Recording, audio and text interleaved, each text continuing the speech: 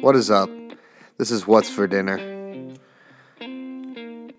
I'm Drew, and tonight we're making Italian subs. Non greasy, oven baked.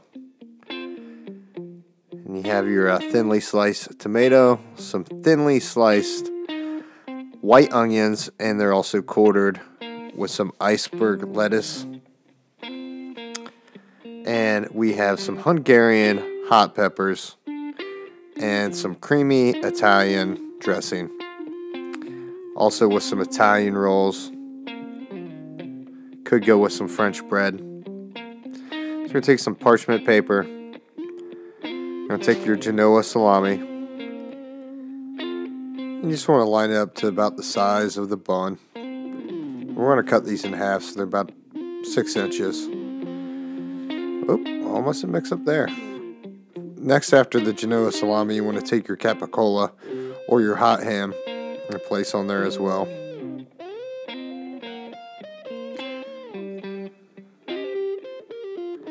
And then we're just going to go with some regular black forest ham and also some provolone cheese, but I wish uh, the person at the deli would have cut it a little thinner.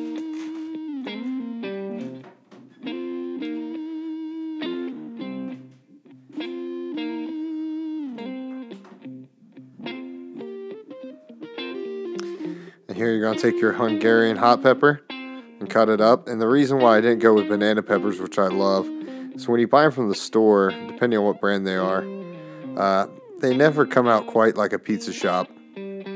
So these are quite a bit drier. Uh, the next day I made another sub, just a non-oven baked sub, and turned out really good. But the hot pepper was a lot hotter than this one was. This one was very mild. Get your uh, bread knife out. And again, we're cutting about halfway through. It's about six inches.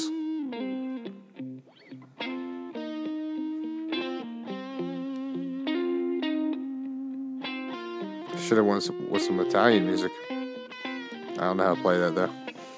No gypsy style for me.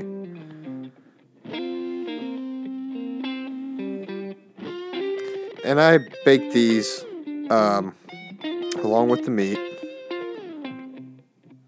for about, I was shooting for five minutes, it went for six minutes. I would go for three to four minutes, so it's not too crispy. Then we're going to line it with uh, your baking sheet with some foil, and we're going to bake the meat separate from the bun so it's non greasy.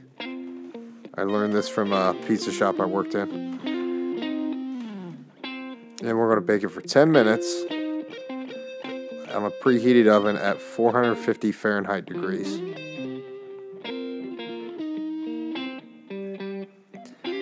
And three to four minutes in, you're going to want to pull that bread out. But this really drain the grease from the sub itself. And I had a whole video of me dressing up the sub, put all the toppings on it. Somehow it got deleted. But there it is.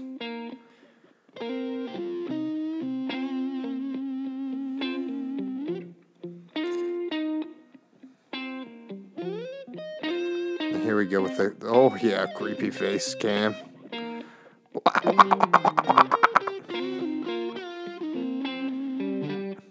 But these were delicious. And always,